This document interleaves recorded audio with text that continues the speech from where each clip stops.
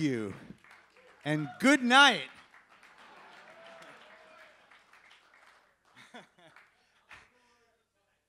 Thank you so much for coming. First, I would like to thank One Alternative for playing earlier in the evening. Great band.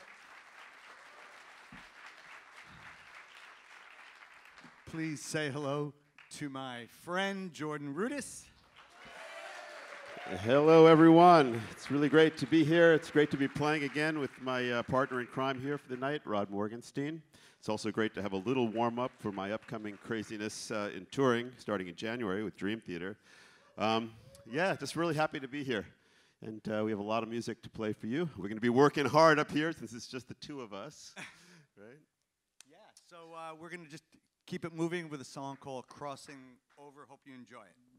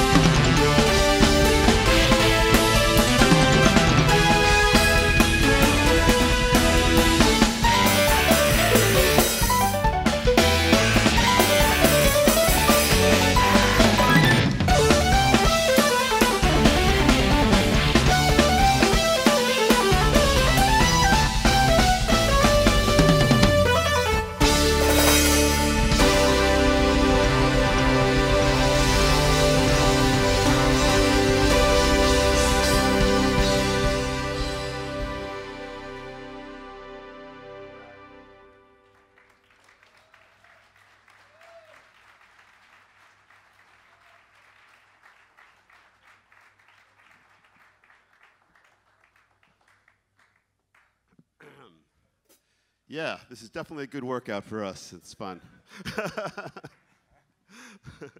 There's no slacking on this gig. Got to play with both hands all the time and keep your eyes on the ball. Um, so that was the song that Rod wrote, actually, called uh, Drop the Puck. And uh, the next thing we are going to break into is uh, a little number that's called Raw. It was actually inspired. I had gone to see an amazing group with uh, John McLaughlin. Some of you might have heard of them, called Shakti. And I came home, and I think I wrote this piece that night. So I was so like totally buzzing from the whole thing. So it has a little bit of that kind of flavor to it. I, I would probably get in trouble if I called it like Indian music because I don't really know the rules. But uh, I definitely left there with that feeling, and I kind of put it into this piece. So uh, yeah, this is Ra.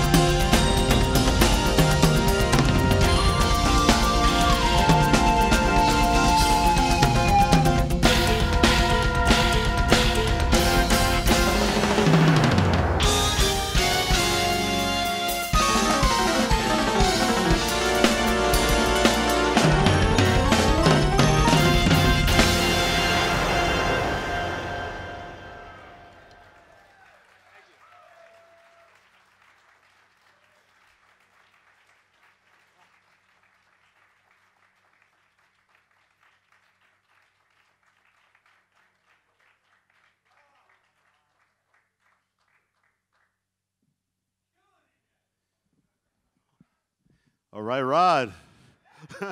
Working up a sweat. That's right. That's it's all about, my friend.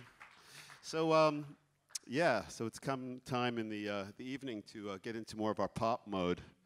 Next thing we're going to play is a very light uh, and breezy two minute pop song called Tarkus. So, uh, yeah, so some of you might know uh, some years ago I made an album of uh, pretty much my very favorite progressive rock songs. These are, these are songs that, you know, had such a big influence on my life. Uh, Tarkus, for one, is probably this, the reason that I'm here. I remember when a friend of mine uh, came over to my house holding this, this Tarkus album when I was like 17 or something. You got to hear this. You got to hear this. And you know, things like that were pretty much illegal in my house because I was a classical pianist. And you weren't really allowed to bring things like that in or synthesizers, which other high school friends brought to kind of uh, you know bring me to the dark side, if you will. But uh, after hearing Tarkus, I was like, oh my God, you mean the keyboard can have that much power? That's cool. So, uh, unfortunately for my parents, I think I stopped going to all my, uh, my, my Juilliard lessons and kind of drifted off into another world. And uh, I think to my mother's uh, last day on earth, she said, but, but Jordy, you used to play Chopin so beautifully. I'm like, Mom, but I still can, but I'm also doing this other stuff. So, um, anyway, uh, very pleased to present to you not only part of Tarkus, but all of Tarkus. So, uh, so fasten your seatbelts, and uh, we'll go for this little ride.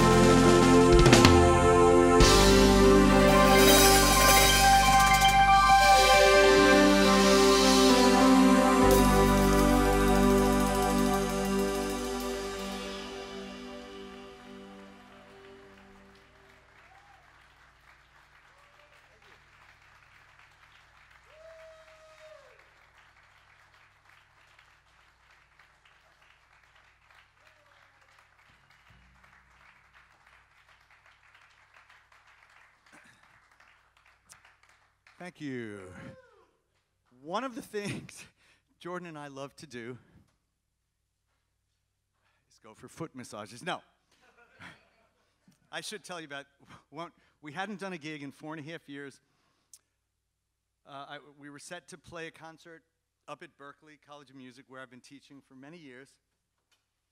And so, since we hadn't played any of this music in a long time, we thought maybe it should be good if we get together at least one time. Maybe run Why through some of the material. so this was this was fantastic, and this is this is the God's honest truth. It was a few days before the concert in June, and uh, I drove up to his home. It's about 80 miles from my house. Pulled in the driveway of his home. It was about noon. I got out of the car. Jordan, Jordan walked out of his studio. He said, Hey, are you hungry? I said, Sure. So he said, uh, I know a great sushi place. So we went for a nice, leisurely lunch. You're giving away our rehearsal secrets. That's true. Okay. It's good to be on your toes. And so, so we did the lunch. Then we said, you know, we should get back to your place and start rehearsing.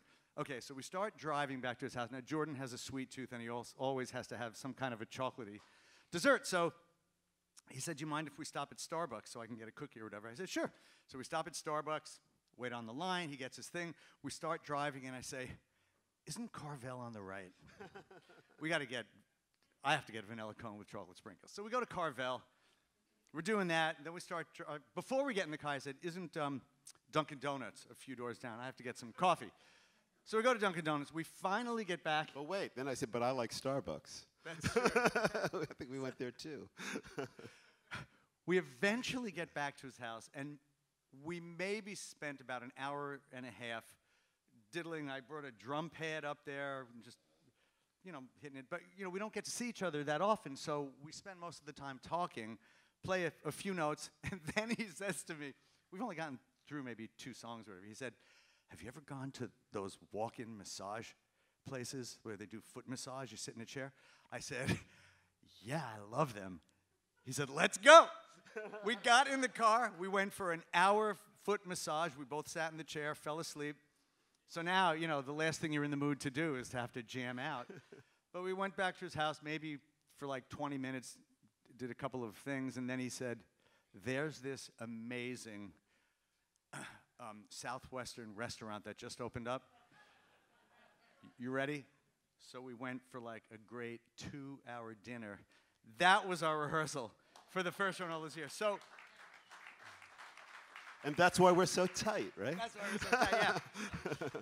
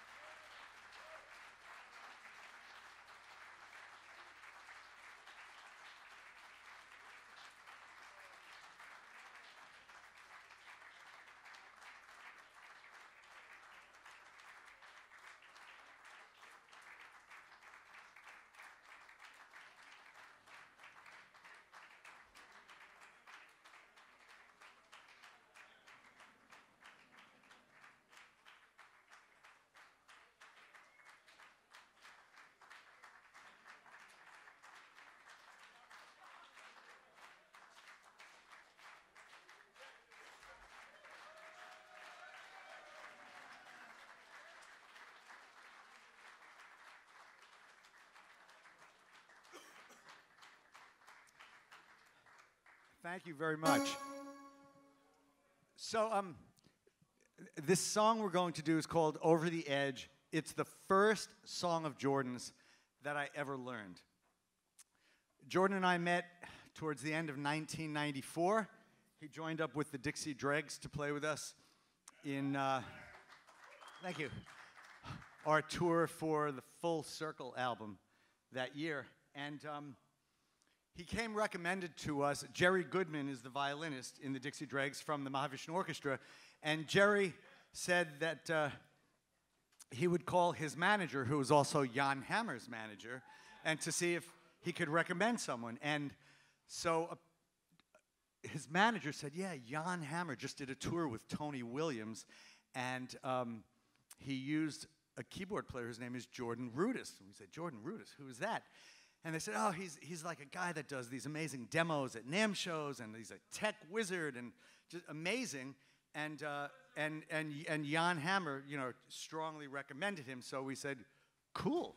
So we told this guy that we had never met the songs to learn, and in typical Dixie Dregs fashion, we, rehe- we, we rehearse maybe one day, if not at the gig, at the sound check for the gig. You know, everyone's on their best behavior to learn to learn the songs. So Jordan came down to Steve Morse's house for the one day of rehearsal, and um, it's rare that I've ever seen Steve Morse laugh when he is astounded by another musician, and it, that, that was one of the rare, if only times I think I've ever seen him laugh.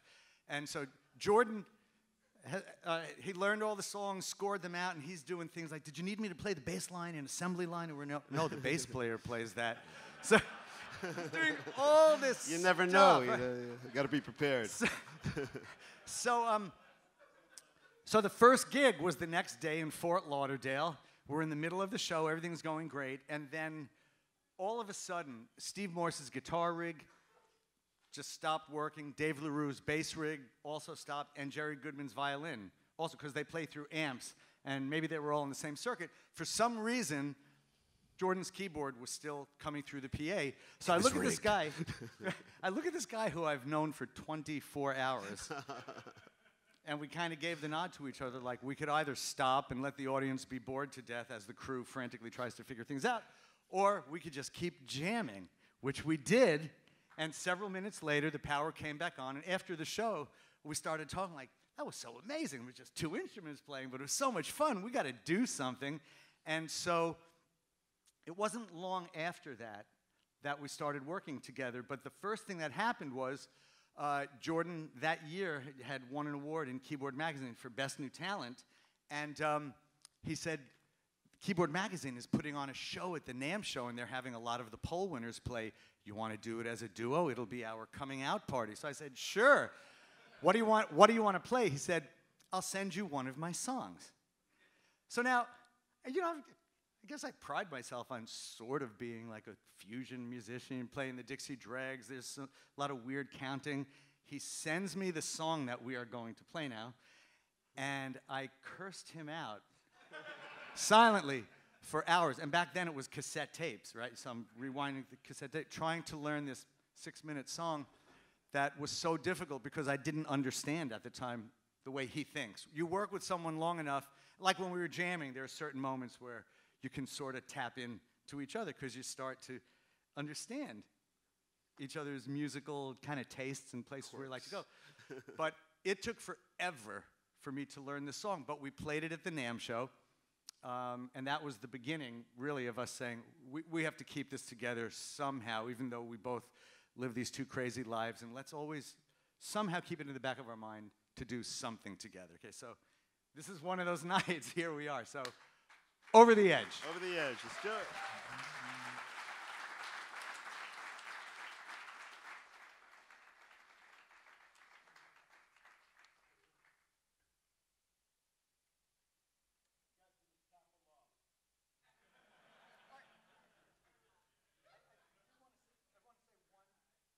thing. I'm a teacher, and when I talk about time with drummers, I try to break things down into their, their smallest, easiest to understand components. And really, no matter how crazy a piece of music is, it can be broken down into groups of threes and twos. There's no other possibility. It's like, you know, one, two, one, two, one, two, three, one, two, three, one, two, one, two, one, two, three, one, two, one, two, three, one, two, one, two, one, two, one, two, three, one, two, three, one, two, one, two, one. And so I was telling this to somebody at the show last night, and they said, no, Rod, you know what? It's really just a series of a lot of ones. I said, touche. I thought it was zeros and ones, actually. it's a little more up to date, you know.